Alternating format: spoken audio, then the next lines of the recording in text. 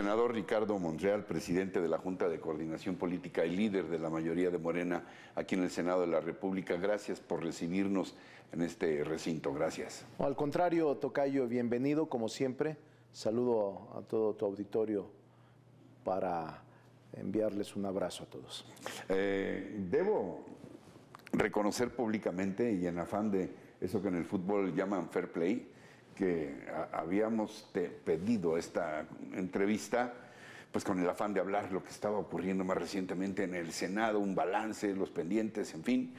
Eh, pero hay un tema que está ahorita en la opinión pública y que seguramente tienes muy claro, eh, porque atiende de alguna manera también al, al, Senado. La renuncia de Germán Martínez Cázares a la dirección general del Instituto Mexicano del Seguro Social y su regreso al Senado de la República. La pregunta, por lo tanto, es eh, doble. Tú compartes la opinión de algunos que consideran que esta renuncia es el principio de un cisma en el gobierno de Andrés Manuel López Obrador y cómo se dará el regreso de Martínez Cázares. E, es un tema importante, Ricardo. Eh, no puedo negar que la renuncia de un miembro del gabinete ampliado genera siempre suspicacias, interpretaciones distintas, eh, incluso eh, posibles desencuentros dentro del gabinete que apenas tiene unos meses de funcionar. Sin embargo, yo te diría que la interpretación correcta es que el propio director del Seguro Social renunciante decidió reincorporarse al Senado.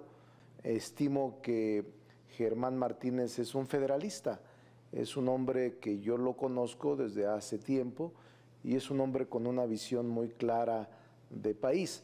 Sin embargo, no le doy la interpretación del de la confrontación, no le doy la interpretación del cisma profundo, no le doy la interpretación de una ah, dura lucha interna, ni tampoco de que él haya ido este, frente a una decisión personal a confrontarse con el presidente de la República o a denunciar hechos que están suscitándose en la administración pública federal.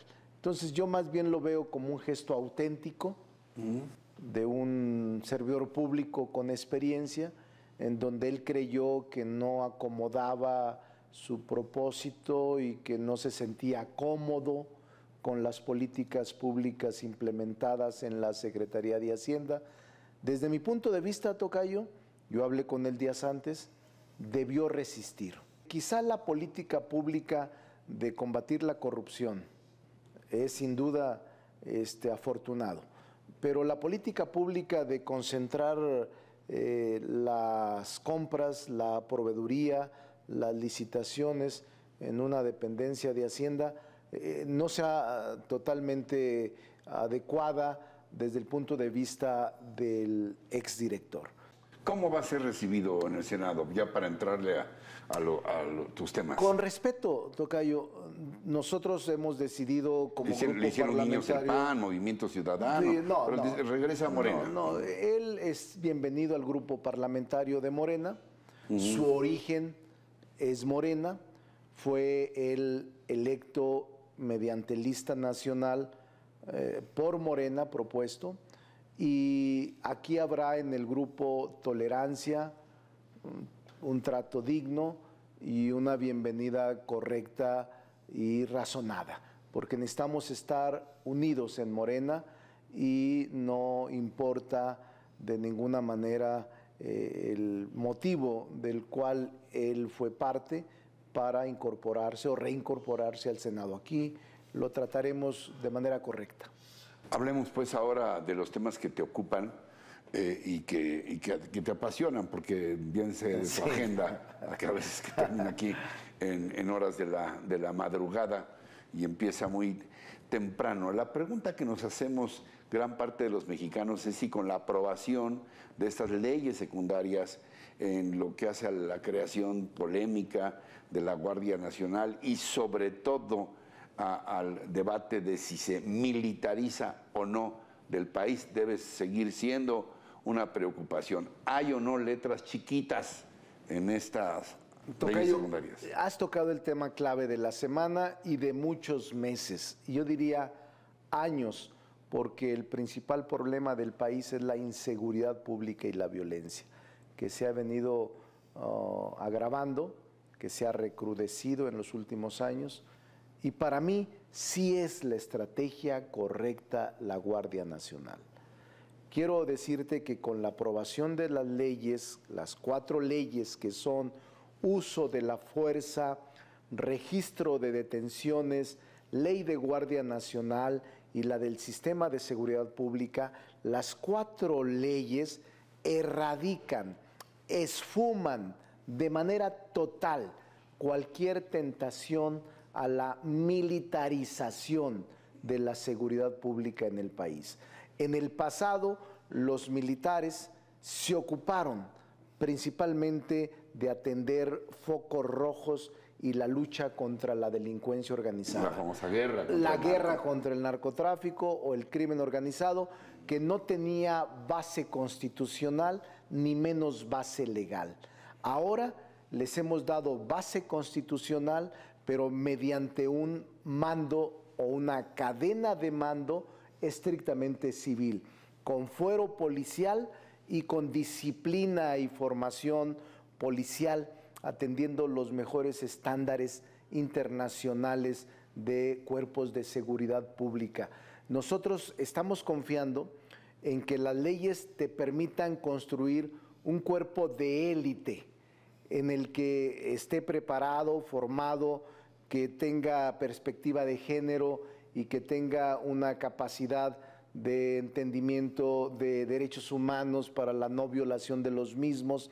Es decir, habrá protocolos a partir de la legislación. Te quiero comentar que tres de estas leyes no existían, curiosamente. La ley del uso de la fuerza no existía. La ley del registro de detenciones no existía, Tocayo. Solo existía la de seguridad pública y ahora creemos que va a ser esta estrategia el instrumento moderno, adecuado para enfrentar el crimen organizado y la delincuencia común. Pero tú has dicho una cosa y te respondo. No hay letras chiquitas. Mm. No hay en Tampoco medio... en la ley orgánica de la Guardia No hay. Nacional, Es en la muy ley clara. general del no hay sistema en de seguridad ninguno pública. de los cuatro ordenamientos jurídicos ni letras chiquitas, ni engaños, ni simulación. Al contrario, atendimos los reclamos y las observaciones y recomendaciones de la ONU, de la Corte Interamericana de Derechos Humanos y sus últimas resoluciones, y de colectivos de derechos humanos. Entonces, está concentrado en estas cuatro leyes una legislación moderna. ¿Por qué has insistido en un parlamento abierto, teniendo mayoría? Mira, primero porque es lo mejor. Eh, el, el Parlamento abierto definió la reforma constitucional de Guardia Nacional.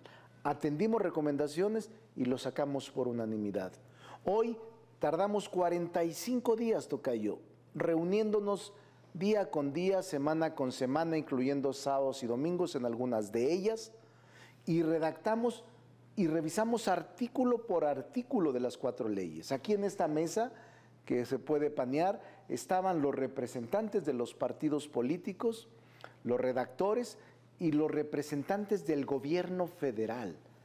El subsecretario que ahora es director del IMSS, Zoé Robledo, estaban los representantes de Alfonso Durazo, estaban los representantes de este, la Fiscalía y de también la Consejería Jurídica de Julio Scherer. Es decir, Tocayo, estábamos en una discusión, en una auténtica colaboración de poderes entre el Ejecutivo y el Legislativo. Casi 45 días de discusión y modificamos de los cuerpos originales de los documentos de trabajo presentados por el Ejecutivo Federal 238 artículos que los modificamos totalmente.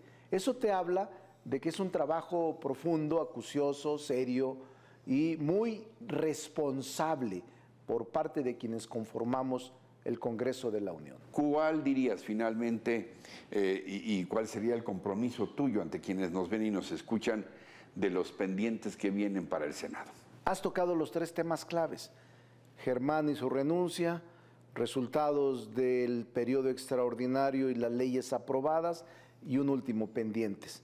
Yo te diría, Tocayo, que nos faltan tres pendientes de la agenda original que convenimos con el Ejecutivo Federal como movimiento, pero que no podemos excluir a las otras fuerzas políticas, que es indispensable su acuerdo, acompañamiento y consenso.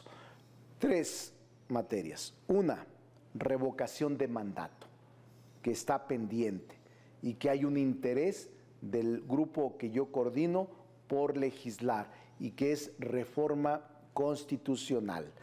Dos, el tema de consulta popular, para que no se dé en la práctica ni a mano alzada, ni procedimientos dudosos de consultas populares, sino que sean procedimientos debidamente regulados y debidamente organizados por los órganos facultados, en este caso. Plena credibilidad. Plena credibilidad, con credencial, con formatos, con resultados, con vigilancia, con mesas receptoras. Esa consulta popular, que es la modificación al 35 constitucional, también está pendiente aquí en el Senado. Y una última que yo te diría que es clave son extinción del dominio, extinción de dominio que son los bienes que con el tiempo sostienen, conservan, compran, adquieren los delincuentes o quienes se dedican al crimen organizado, al terrorismo, a este, delitos contra la salud, o corrupción, o guachicoleo, o este, incluso secuestros, o actividades ilícitas. Todos los bienes que se aseguran por parte de la Fiscalía no tienen destino. Y estamos intentando que en la ley de extinción de dominio tengan un destino que es el instituto que le ha llamado a Andrés Manuel de regresar lo robado al pueblo, nosotros lo llamamos el Instituto Chucho el Roto, pero, la justicia popular. la justicia popular, pero esas son las materias que nos faltan y lo de austeridad republicana, que estas dos últimas son leyes reglamentarias. Ricardo Monreal, reconociendo de verdad eh, tu apertura siempre, gracias por recibirnos, espero que esta conversación que ha iniciado hace algunos años pues sí, siga adelante. 21 años, Tocayo. Gracias. 21 años. Gracias, senador. Saludos. Gracias también a ustedes por su atención, por su compañía y lo que más aprecio su confianza en este espacio. Hasta la próxima semana. Hasta entonces, hasta siempre.